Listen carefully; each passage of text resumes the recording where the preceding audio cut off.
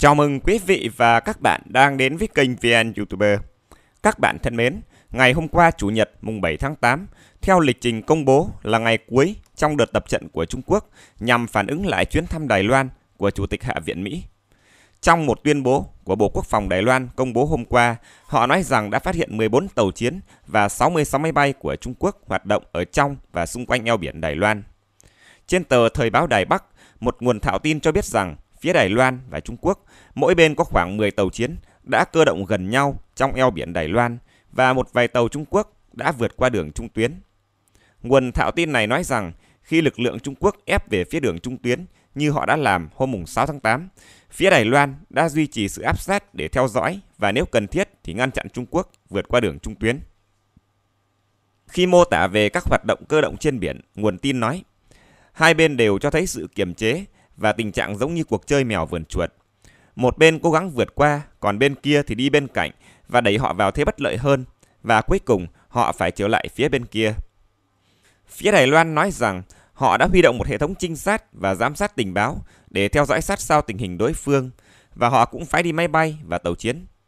Theo tờ Thái Quan News, phía Đài Loan đã đưa tên lửa chống hạm và tên lửa phòng không Patriot vào vị trí sẵn sàng. Các máy bay F-16 cũng đã bay với các tên lửa phòng không tiên tiến. Ngoài ra, phía Đài Loan cũng công bố những tấm ảnh tên lửa Harpoon được nạp đạn. Cũng trong ngày hôm qua, phía Trung Quốc đã cử các máy bay ném bom chiến lược được tiêm kích hộ tống thực hiện diễn tập không kích tầm xa với mục tiêu giống như mô phỏng tấn công các tàu Đài Loan trên mặt biển và các mục tiêu trên bộ. Tuy nhiên, dường như đợt hoạt động quân sự này của phía Trung Quốc quanh eo biển Đài Loan đã đi đến hồi kết.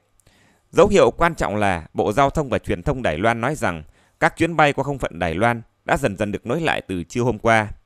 Đây là một tín hiệu quan trọng chứng tỏ các cuộc tập trận của Trung Quốc gần hòn đảo này đã không còn ảnh hưởng nữa.